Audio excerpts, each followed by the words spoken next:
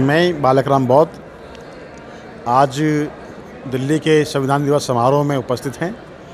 SM news का मैं हार्दिक अभिनंदन करता हूँ कि उन्होंने एक मुहिम जो चलाई है देश में जातिवाद के, के खिलाफ और जातिवाद का जो एक दीमक की तरह जो देश में जो एक देश को कमज़ोर करने का जो एक षडयंत्र है उसके खिलाफ जो एस एम न्यूज़ ने जो एक अभियान चलाया है मैं उसके लिए एस एम न्यूज़ का धन्यवाद करता हूँ।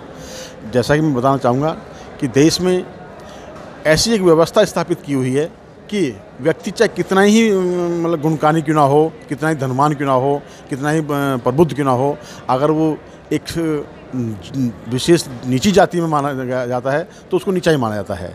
और अगर व्यक्ति कितना ही दुराचारी हो, कितना ही मतलब मतलब अकुशल कार्य करने वाला हो, और अगर वो ऊँची जाति में है तो उसको ऊँची जाति का माना जाता है।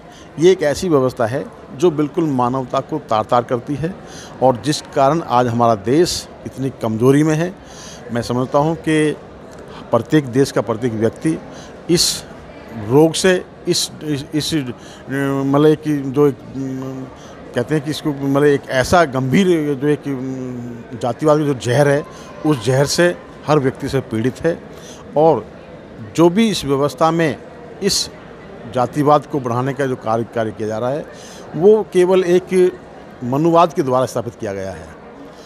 आज देश जो हमारा विकास नहीं कर पा रहा है, उसका पीछे कारण भी सिर्फ़ वही है कि जातीय व्यवस्था, जो मनु ने एक जातीय व्यवस्था बना रखी है।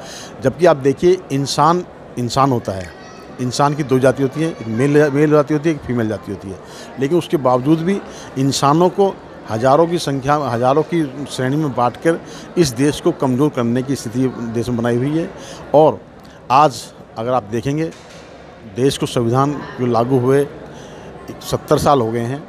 भारतीय संविधान में जाति की कोई व्यवस्था नहीं है, लेकिन उसके बावजूद भी अगर आप व्यवहारिकता में देखेंगे कि लोग जातिवाद को छोड़ नहीं रहे हैं। जातिवाद के माहौल में इतने जकड़े हुए हैं, जिस कारण रोज़ हज़ारों की संख्या में मतलब इतने जघन्य अपराध होते हैं, वो केवल जाति कारण होते हैं। और जो अपराधी, जानबूझ के अपराधी होते हैं, वो बचाए जाते हैं एक जाति के बहाने से। क्योंकि वो ऊँची जाति में होते हैं, इसलिए उनको जाति के नाम से उनको बचाया जाता है। तो ये देश में एक ऐसा जहर है, जिस जहर को मिटाने के लिए एस एम न्यूज़ ने एक मुहिम चलाई है। मैं इस मुहिम के लिए एस एम न्यूज़ का बहुत बहुत आभार व्यक्त करता हूँ। और साथ में एक अपील भी करूँगा कि इस मुहिम को देश स्तर पर नहीं, देश में जगह जगह जाके कलेक्ट करके इसको इंटरनेशनल लेवल बनाया जाए ताकि देश से जातिवाद का जहर ख़त्म किया जाए।